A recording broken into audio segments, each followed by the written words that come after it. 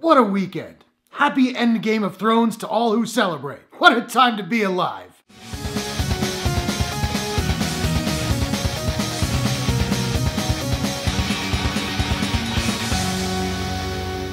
Well, hi there, Internet. My name's Court, and welcome back to my Game of Thrones Season 8 review series. Here we're tackling the third episode, The Long Night. Now, I really liked this episode. I didn't love it. When it was good, it was amazing. When it was not, it may have been amazing. I don't know. I couldn't see what was happening. As always, this review will have mad spoilers, all spoilers all the time.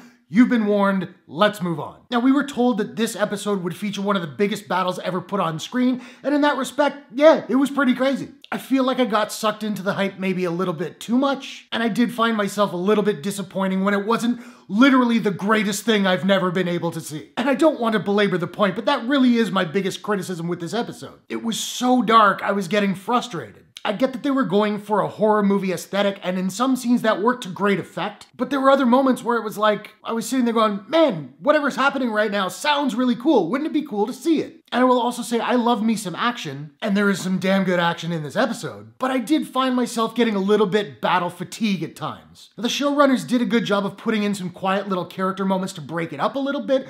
I could have used a couple more of those. I'm probably in the minority there. That's fine. Let's move on to some of the stuff that I liked quite a bit more. The opening moments of this episode are beautifully tense, and Melisandre showing up to light the weapons of the Dothraki on fire Oh my god, it gave me chills. And then watching them ride out into the darkness towards an enemy that they can't see, and then just seeing all the lights wink out in the blackness, that was a brilliant visual. And once the attack begins, yeah, it's an absolute slaughter. However, there were fewer major deaths than I was expecting in this episode. Like Dolorous Ed, he goes out rather unceremoniously. I've always really liked Ed, and I was surprised by how much I didn't feel anything when he died. I think a lot of that was just because it was so abrupt. And then you have Beric Dondarrion, who I've never been like a super huge fan of, but his death really got me. Then again, he went out very, very heroically. And did anyone notice he was in very much a Jesus Christ pose when he died? And we always knew that the little bear, Lyanna Mormont, whenever she goes out, if she were to go out, we knew she was going to go out like a boss. And go out like a boss, she did, killing a giant. That was amazing. Yes, queen. Speaking of like a boss, Arya fighting with that weapon that Gendry gave her.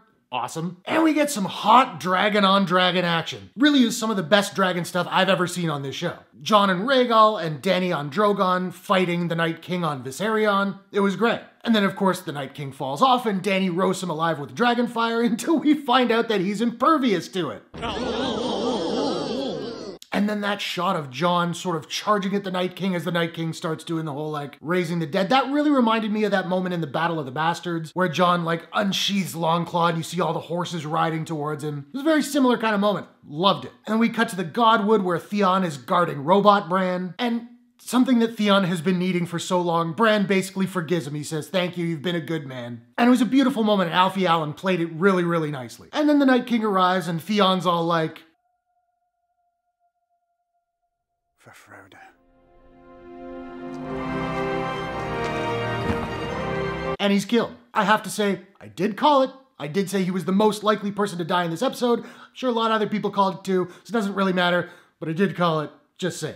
And then when the Night King's about to kill Bran in a Deus Ex Arya, Arya attacks the Night King. She jumps at him from behind. And I was like, oh, and then he catches her by the throat, and I was like, oh, and then she drops the cat's paw dagger, and I was like, oh, then she catches it with her other hand and stabs him in the chest, and he disintegrates, and I was like, oh, I liked that moment, if you can't tell. Arya is clearly the MVP of this episode. Granted, my joy was cut short moments later when we see Ser Jorah die in the arms of Dany. That was brutal. And again, I called that he was gonna die in this episode, but that doesn't mean I was emotionally prepared for it. But then Drogon curling his body around Dany as she's crying over Jorah's dead body. That was a really touching moment. That was beautiful. Who's a good boy? And then the episode closes with this coda of Melisandre walking out onto the battlefield, removing her necklace, and true to her word, dying in this strange country, having served her purpose. And I love that it was Sir Davos who watches her die. That was very poetic. There was a lot of great stuff in The Long Night, some amazingly cool battle moments, but I can't help think that it would have been better if they had taken a little bit more care